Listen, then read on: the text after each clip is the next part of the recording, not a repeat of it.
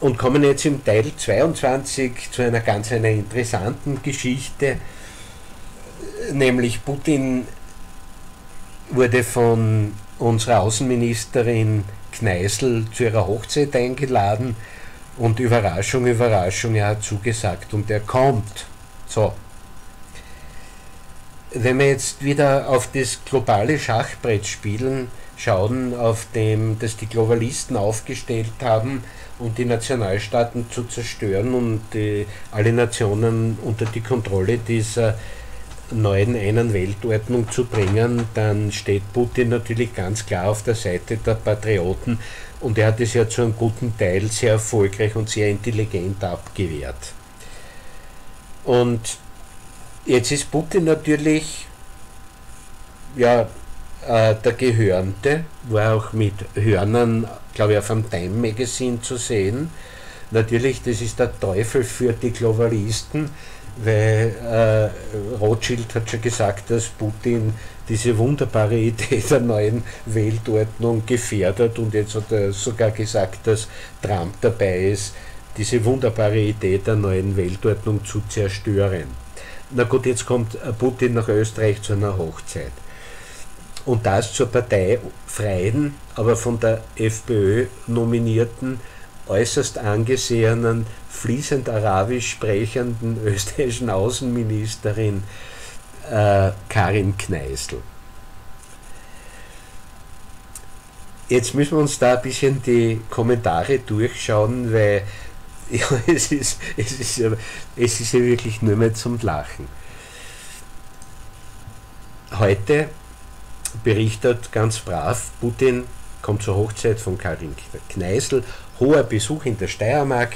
Zur Trauung von Außenministerin Karin Kneißl, Klammer FPÖ, wird der russische Präsident Wladimir Putin erwartet. Okay? Auch Bundesminister Sebastian Kurz, Vizekanzler Strache und weitere Mitglieder der Regierung stehen auf der Gästeliste. Die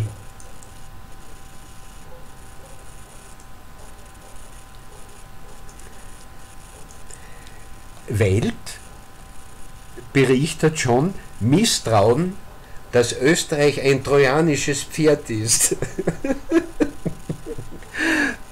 Wochenende heiratet Österreichs Außenministerin Kneißl ihren Lebensgefährten. Guten Tag, wir bringen das neue Gaming Ups. Österreichs Außenministerin Karin Kneißl schließt den Bund fürs Leben.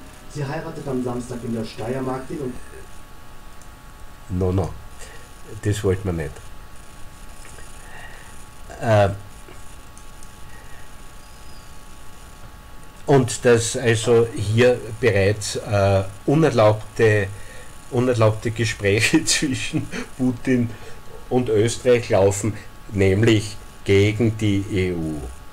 Warum? Weil Österreich ist nicht mit den EU-Wirtschaftssanktionen gegen Russland einverstanden. Warum? Weil wenn Russland Gegenaktionen macht gegen Österreich, dann haben wir es im Winter kalt und kochen in Wien nicht mehr. Weil das ist russisches Gas. So, aus dem Grund äh, sind die Österreicher und vor allem die FPÖ jetzt dafür, dass die Wirtschaftssanktionen gegen Russland aufgehoben werden. Ja, das gefällt natürlich den Globalisten überhaupt nicht. Der Standard schreibt, dass Putins Reise als Arbeitsbesuch äh, erklärt ist. Es gibt da die übliche Sicherheitsbetreuung für den Besuch eines ausländischen Staatsgastes äh, und die russische Seite äh, übernimmt ihre Kosten selbst. Die es lassen sich also nicht einladen auf unsere Kosten. Und äh, die, wir kommen jetzt rein hier in, in die Frage oder hier die Frage der Neutralität dann vom Standard äh, äh, thematisiert. Obwohl Hoch Hochzeiten eine private Angelegenheit seien, verstehe es sich von selbst, dass man mit dieser Hochzeitseinladung Putins nicht mehr neutral sein könne, begründete Hopko auf Twitter. Äh, die Anwesenheit des russischen Präsidenten bei der Hochzeit sei ein deutlicher Schlag gegen europäische Werte.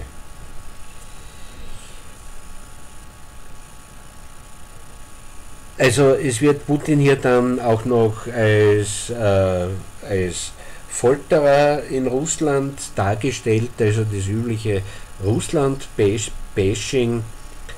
Und jetzt ist es auch so gefährlich, weil äh, Kurz hat ja den, Österreich hat ja den EU-Ratsvorsitz im Augenblick und jetzt kommt er auf den Putin, der, äh, der Putin daher und Wladimir Putin ist der aggressivste außenpolitische Gegner der EU. Da ist es vollkommen inakzeptabel von Kneißl, Putin privat auf ein Fest einzuladen. Es steht also ganz klar hier, wie auf dem Schachbrett aufgestellt ist. Die EU, das sind die Globalisten. Putin gehört zu den Nationalisten, die die Nationalstaatlichkeit nicht zerstören lassen wollen. Die EU tut alles, um die Nationalstaatlichkeit der europäischen Länder zu zerstören. Und daher stehen die sich wirklich gegenüber. Ob der Putin jetzt aggressiv ist in seiner Außenpolitik, das kann ich nicht feststellen, aber das wird ihm mal zugeschanzt, damit er in einem schlechten Licht dasteht.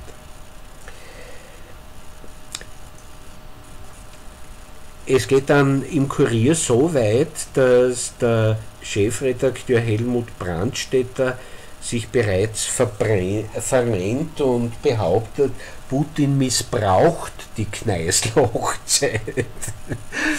okay, das ist also eine Desavouierung der guten Frau Kneißl, dass sie sich von Putin missbrauchen lässt. Also die, man sieht also die, die äh, Globalisten, äh, Mietmäuler in den Medien, die kennen inzwischen kein Halten mehr. So, was wir uns jetzt aber anschauen müssen, äh, ist, sind, die sind wie die Trolle auftauchen. Die beliebtesten Leserkommentare jetzt in heute, nämlich Diktatoren auf Steuerkosten. Schade, dass der Saddam Hussein schon tot ist der wäre auch ein passender Gast gewesen. Oder Putin, den brauchen wir hier so wie einen Kropf. Vielleicht kann er sie gleich verpflichten. Hier fehlt sie sicher nicht. Als nächstes. Es wäre eine bodenlose Frechheit, wenn die Sicherheit Putins von unserem Steuergeld bezahlt wird.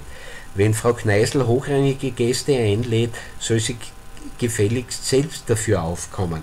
Okay, das widerspricht also dem Fakt, dem bekannten Faktum, dass Putin nicht ohne seine eigenen Securities reist, auch nicht zu einer Hochzeit, die hat er immer dabei, die passen auf ihn relativ gut auf und äh, die äh, anderen Kosten für den Besuch, die übernimmt er also erklärterweise selbst. Dann aha, der Chef kommt nachsehen, was er da gekauft hat. Die FPÖ ist der größte Verrat am österreichischen Volk aller Zeiten. Okay? Black Cube, das ist ein interessanter Nickname. Äh, jetzt, die FPÖ ist die letzte Partei, die irgendwie das österreichische Volk noch vor der transnationalen Zerstörung äh, zu schützen probiert. Und dass sie das tut, wird hier von Black Cube als der größte Verrat am österreichischen Volk dargestellt. Das ist eine Methode, die die Trolle haben, wo sie einfach umdrehen. Das heißt, wer das Volk schützt, der verrät es.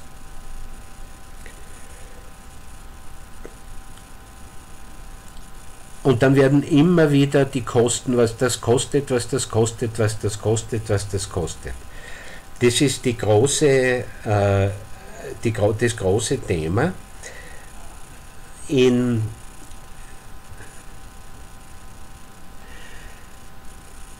da wollen wir uns jetzt aber erinnern an die Bilderberger Konferenz, die 2015 stattgefunden hat. 2100 Polizisten, 35 Alpinpolizisten.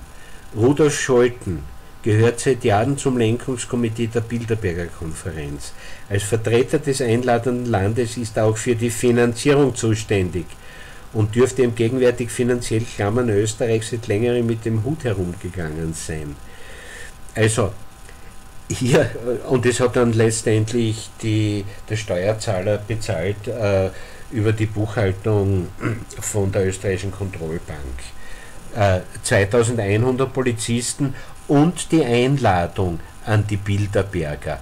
Das ging zur Gänze auf Steuerkosten das wird hier nicht thematisiert. Warum nicht? Weil das ist eine globale Veranstaltung. Da sind die Medien gnädig, hier sind die Trolle gnädig und heißen das gut. Und wenn Putin kommt als ein Vertreter der nationalen Souveränität zu Kneißl, die völkerrechtlich auch in Ordnung ist, dann ist das natürlich super gefährlich, weil das könnte die Völkervermischung der EU gefährden.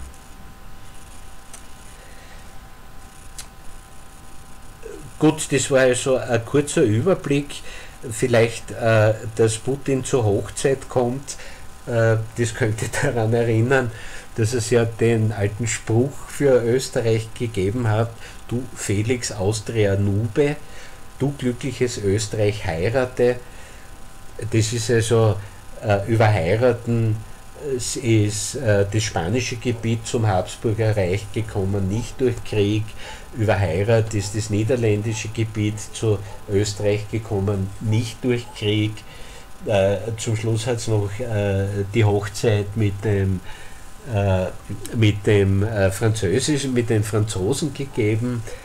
Äh, das heißt, das internationale oder hier haben wir zumindest äh, die Komponenten international und Hochzeit witzigerweise beisammen. Wir werden sehen, wie die Geschichte weitergeht.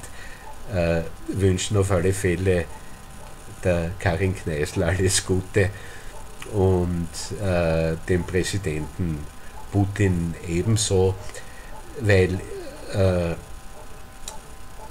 es ist, glaube ich, für jeden, der sich das ein bisschen anschaut, schon irgendwann einmal verständlich, dass diese Globalisierung mit gechipptem Geld und mit zentraler Befehlsausgabe für Europa aus Brüssel jene Zukunft ist, die für uns vorbereitet ist und für die wir vom Volk her äh, national souveräne Alternative schaffen müssen in unserem Bewusstsein, damit sich dann politische Kräfte nachmanifestieren können, die dies dann auch umsetzen können. Ja, in diesem Sinne sage ich heute wiederum vielen, vielen Dank fürs Zuhören. Ich hoffe, es war ein bisschen interessant für euch. Die, den heutigen Samstagnachmittag den verbringt es entspannt. Wochenende auch. Nächste Woche wird sicher wieder interessant. Betrachtet vor allem das, was jetzt in den Medien steht, auch über den Putin-Besuch bei Karin Kneißl, äh, mit der, aus der Perspektive, dass das wirklich schon lächerlich ist, was hier geschrieben wird. Tut euch bitte nicht ärgern drüber, das bringt nur Magengeschwüre. Aber auf der anderen Seite, denkt bitte alle miteinander darüber nach, wie wir uns als patriotische Österreicher, denen es an der Erhaltung der österreichischen Nationalität liegt, irgendwie zusammenfinden können, um hier, weil geistig sind wir irgendwie schon beieinander, nur in verschiedenen Bereichen, damit äh, hier auch äh, maßgebliche politische wirksame Kraft entstehen kann die wieder die volle Neutralität Österreichs mit dem Austritt aus der NATO-Partnerschaft herstellt und vieles anderes mehr. Damit noch einmal herzliches Danke fürs Zuhören. bis zum nächsten Samstag und passt auf euch auf.